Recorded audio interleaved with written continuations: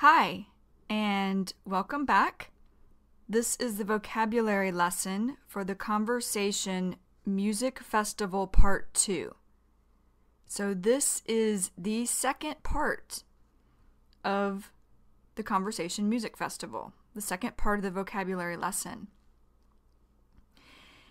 In this conversation, Joe and I are continuing to talk about the music festival that we went to in Golden Gate Park here in San Francisco. So, we're just talking about our feelings and our thoughts about the music festival. Okay, let's begin with the conversation. Joe says, So, and so is just a filler word, it's not really needed here. Joe goes on to say, I guess I need not ask. Or he's saying, I don't think I have to ask because I think I know already. And Joe goes on to say, who your favorite uh, band was during the evening. When he says uh, that's just a filler word. It's not needed at all. Moving along in the conversation, then I say, Radiohead. Now, Radiohead, this is an English music band. It's the name of the, the English music band or the band from England.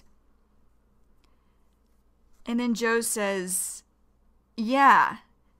And yeah is casual or slang or informal for yes. And Joe says, I figured it. And what he's saying is, I thought it. And then I say, Of course.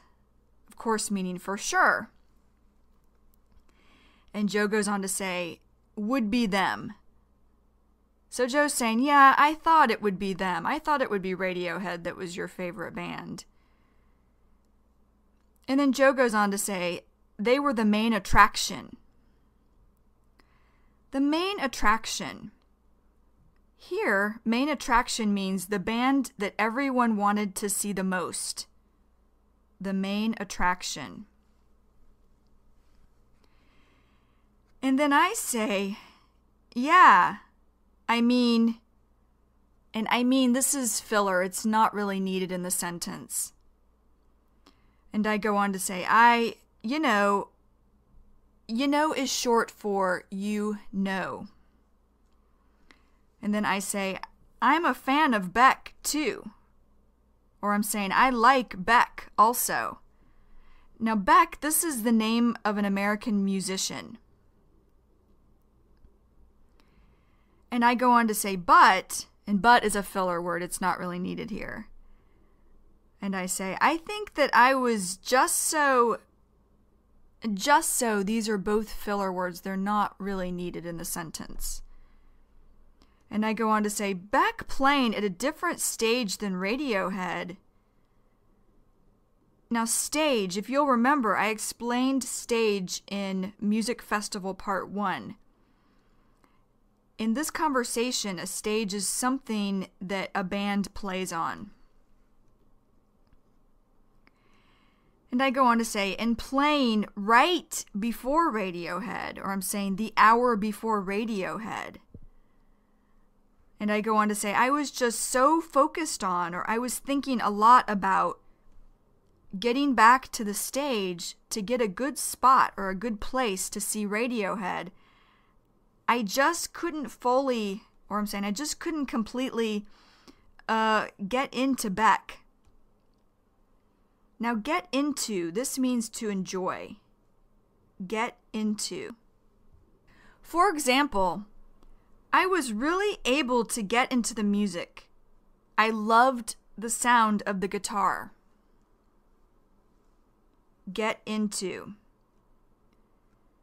And I go on to say, and, and and is a filler word here. It's not really needed. And I say, yeah, it, it's just, he, the music just wasn't resonating with me tonight. Resonating with me. This means it was nothing special to me. Resonating with me. For example, the sound of the guitar really resonates with me. resonating with me, or in this example, resonates with me. And then I go on to say, unfortunately. So, what I'm meaning is, I wish I had been enjoying the music. Unfortunately, I was not. And then I say, cuz, and cuz is short for because. Cuz that's the first time I've ever seen Beck live. Live. This means in concert. Live. For example, I love to see live music. I prefer going to see a concert rather than listening to a CD. Live. And Joe says, Yeah, you see, for me, and you see, this is short for you see. And Joe goes on to say, It was totally, or he's saying it was completely different because I really, really, or he's saying, I very much enjoyed Beck's performance or, or Beck's show or Beck's concert. And Joe goes on to say, and, uh, you know, and I say, you, you, you missed half of it. Going to the bathroom. Going. This is short for going. Going. Or going. And I go on to say, What are you talking about? Talking. This is short for talking. And Joe says, Well, and well is just a filler word, it's not really needed here. And Joe goes on to say, You know, sometime nature calls. Now, Joe, I don't really know why, but he should have said sometimes nature calls, but he just, for whatever reason, he just cut it shorter and said sometime. Doesn't really make a lot of sense, but normally you would hear sometimes nature calls. Nature calls, this means have to go to the bathroom. Nature calls. For example, I did not want to leave the movie, but nature was calling. I think I drank too much water before the movie started. Nature calls, or in this example, nature calling, or nature was calling. And then I just laugh. And then Joe says, "But uh, you know, I I also I wasn't familiar with, or he's saying I didn't know Radiohead's music at all. I really enjoyed it, and uh, you know, I I would definitely go see them again. Or he's saying I would definitely go see them play again. And Joe says, but I I'm more familiar with Beck's music, so maybe that helped me to enjoy it. Plus, or Joe is saying also, I I just like that style, or he's saying that kind. And Joe goes on to say Beck's style of music or he's saying Beck's kind of music. More than Radiohead's, you know? But I really did enjoy the Radiohead music. I liked the fact that uh, the crowd was really into them. Now, when he says crowd, he's speaking about all the people watching and listening to Radiohead. And then Joe goes on to say, you know, like, and like is just a filler word, it's not really needed here. Joe goes on to say, You looked out in the crowd and you saw everyone smiling. You know, everyone seemed happy. And like some people were dancing, and uh, a lot of people were singing their songs. You could tell, or he's saying you could see that they they were very familiar with the music. So, uh, you know, it was just a good vibe. A good vibe. This means a good feeling. A good vibe. For example, I liked the concert. It had a good vibe to it. A good vibe. And then Joe says, I, and I really enjoyed that part of it.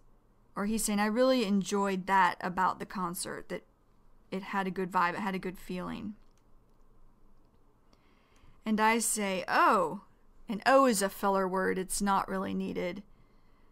And I go on to say, they were off the hook. Now, off the hook, this means excellent, very good. Off the hook. An example of off the hook would be the food in Thailand is off the hook. I enjoyed it a lot.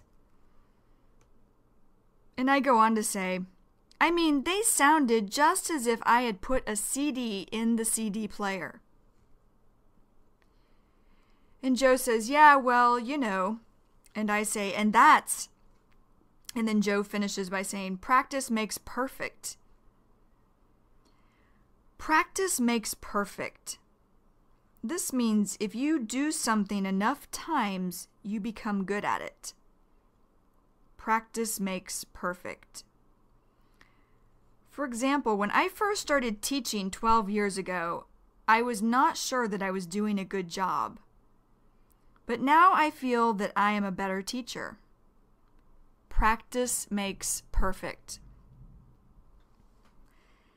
And then I say, yeah, it's difficult to find that live.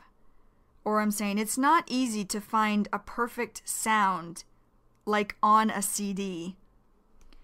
And then I go on to say, but I will say, too, well, let me back up. Let me back up. This means let me start over again.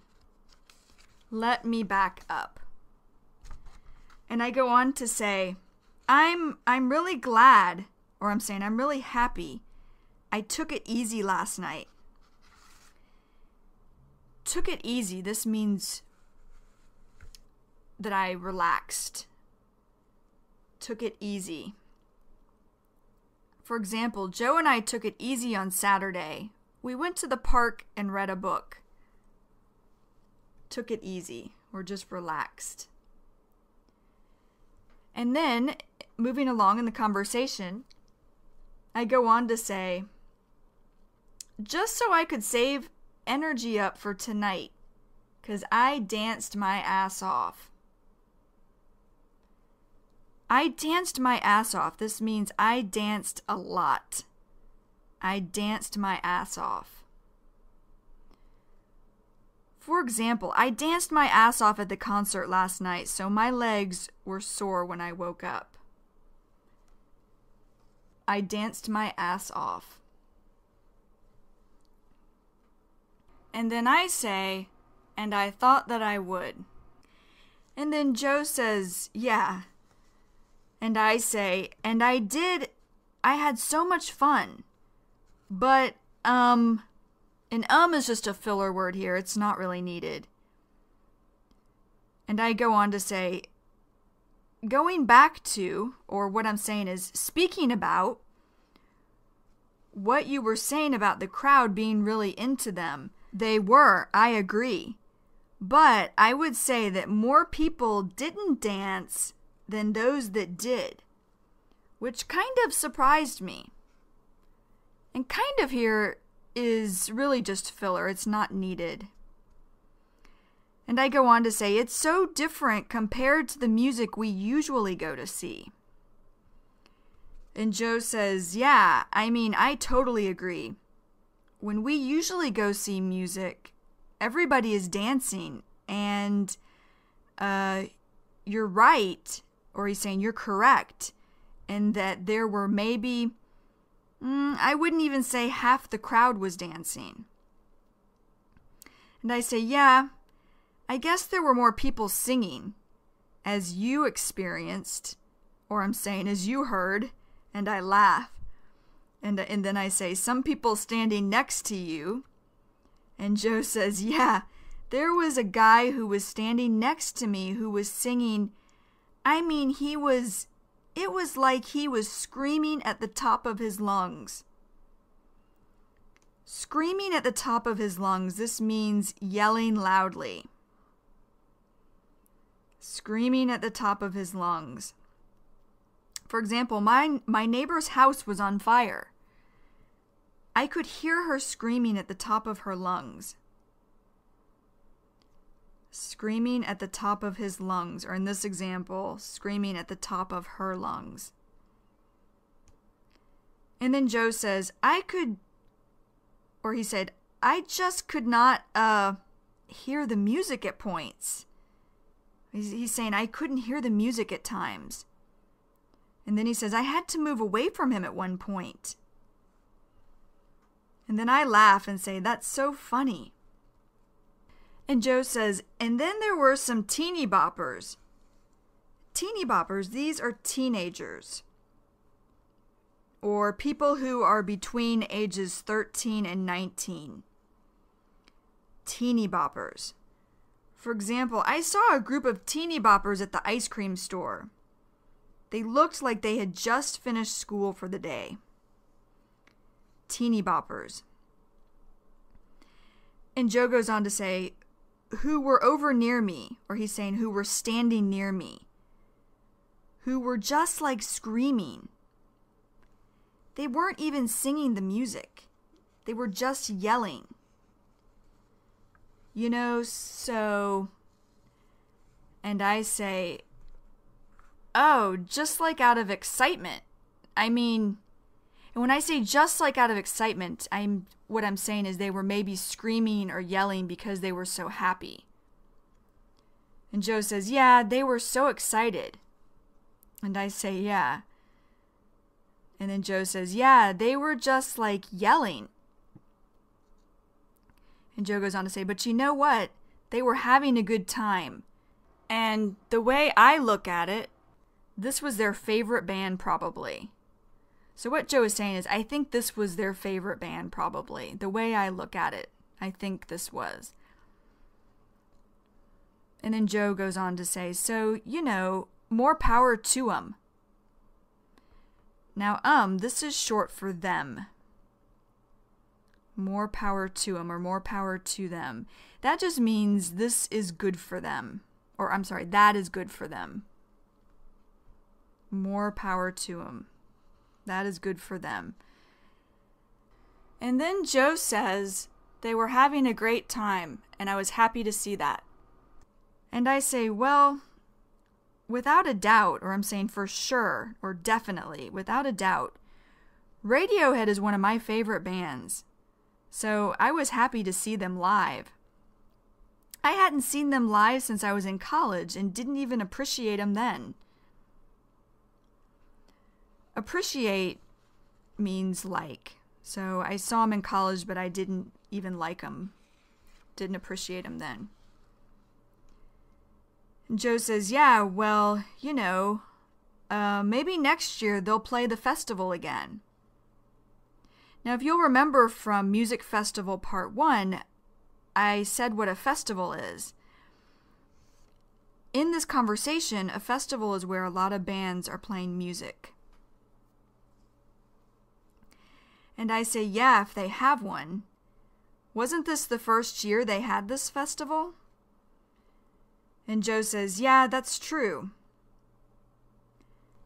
And then I say, yeah, and this was the first time ever someone played at dark in Golden Gate Park.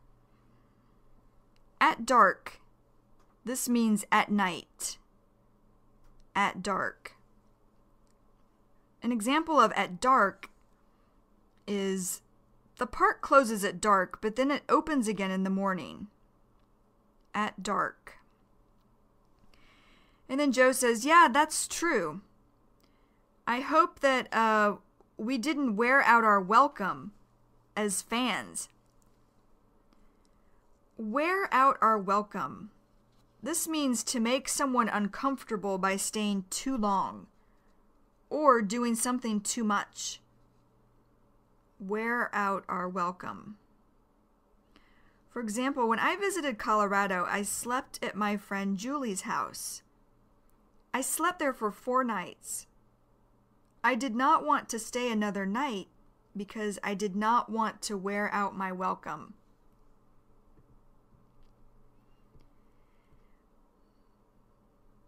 And then I say, How so?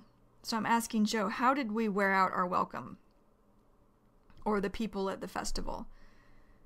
And Joe says, Well, you know, people. And then I say, leaving trash and stuff behind. So I'm asking, leaving garbage behind in the park? And Joe says, No, I think more so when people were leaving the concert. Since Golden Gate Park borders, uh, you know, Golden Gate Park, this is the name of a park in San Francisco. This is where the music festival was. And borders, borders means is next to. Borders. For example, Thailand borders Cambodia. Borders. And then I say, oh. And Joe says, a bunch of neighborhoods. Or he's saying a lot of neighborhoods. Neighborhoods are areas where people live. And Joe goes on to say, people were walking out of the concert at the end of the night. End of the night meaning when the festival was finished. And Joe says, and making a lot of noise. And and then I say, right. And I'm just agreeing with Joe. And then Joe says, I think that, and it was getting late at night, so I think that it uh, might have woken up a lot of the people who were who live in the area. So I just hope that the people, and here he's talking about the people from the festival, and he goes on to say, weren't, uh, you know, too much of a burden on the neighborhood. Burden. This means something that is difficult, something that is a problem.